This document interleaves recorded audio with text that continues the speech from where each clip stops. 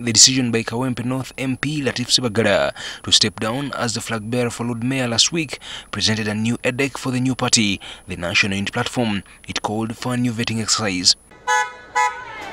Today, the exercise concluded with only two people turning up for the vetting exercise, Nabilah Naggayi and Saula Sali.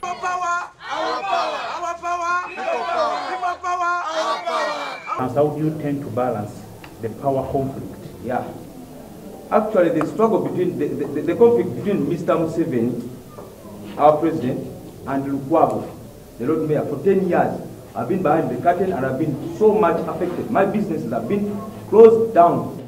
For Nabilah Naggayi, the question of her loyalty and her inconsistency in her political history dominated the vetting exercise. You keep dilly-dallying with the regime against your former parties. Do we expect the same Naggayi? Uh, I can say that I've been opposition and the choice of being in opposition is mine.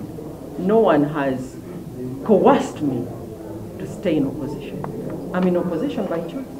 Nabilah was later selected as the winner in today's vetting exercise.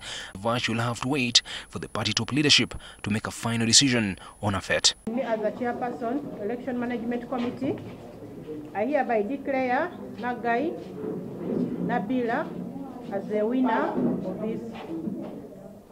So we are not we are not the final, but we are going to forward your name in the on the board so that for further processing. People power. The excitement is palpable. I'm excited too.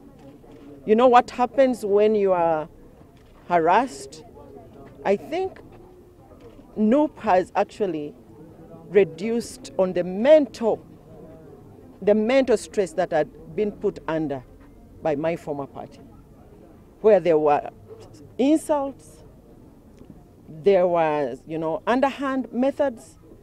I would have, I, I, I, I've, I've never gone through what I went through here for vetting. I've never. This is a new one. People want to do it behind doors. Then they come out and backstab you, undermine you.